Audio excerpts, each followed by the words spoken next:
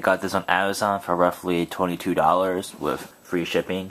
Shipped in about four days. I got this because I needed an everyday knife since I use pretty much a tactical knife from everyday knife, which is not good. This is also a very good knife.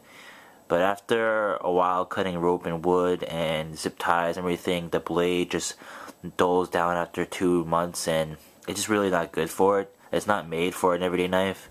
But this one I got, the Kershaw Clash with a serrated blade, is made for an everyday knife. And it's roughly $22 and you can it retails for $30. So I decided to get this and it's really cheap. So also it's legal just like this one. And it's assisted opening, so that's really nice as well. So let's get to this unboxing like I said, I got on Amazon and it got it for $22. Pretty cheap. Uh, other places would sell it for roughly 27 or, you know, $30. So it's really affordable knife. And it's not one of the best knives you can get, but it's legal, it's cheap, it's small, and it does the job. So if you need a knife, an everyday knife that's pretty nice and has a really fast opening, you want to go with this. And here it is. I thought I got nothing in the box for a moment. Um, comes in a very small box. I think the serial number for this knife, if you can see it right here, I'm not sure if you can, but it says 1605ST. And let's unbox this baby.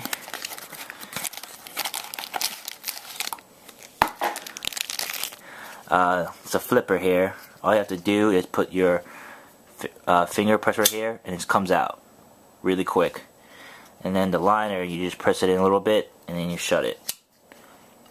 Again, here it is.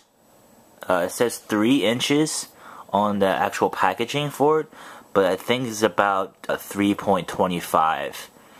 And you can tell that it's a serrated edge right there. And the belly is pretty big here. The grind looks pretty good.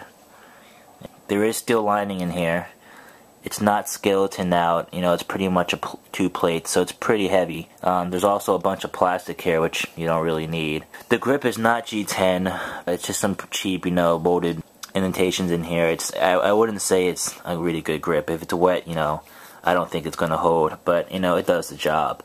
The belt clip, uh, it's pointed at tip down, so I'd rather have it point tip up.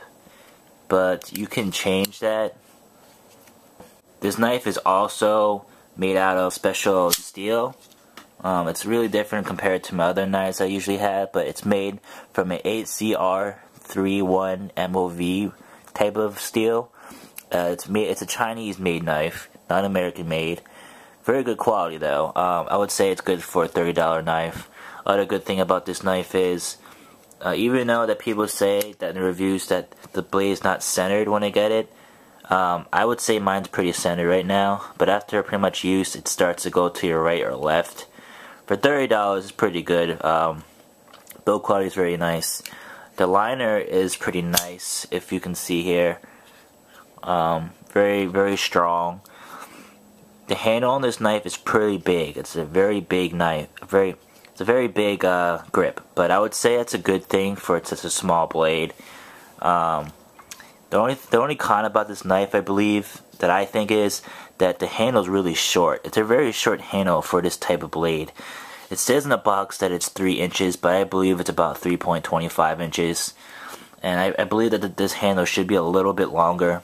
As you can see, I have I don't have really big hands, but I have medium-sized hands. And, um, you know, the handle is very small, which it came up a little bit longer. Other than that, this is a pretty good knife. It is a speed safe assisted opener. Uh, like I said, it's a flip. Put your finger here and you flick it. Uh, it is speed safe.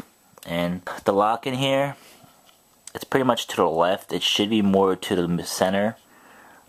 I think after a little bit of use, it'll, it'll make its way up into the center. But other than that, I think it's a really good knife. But hope you guys liked. Please comment, rate, and subscribe. And until then...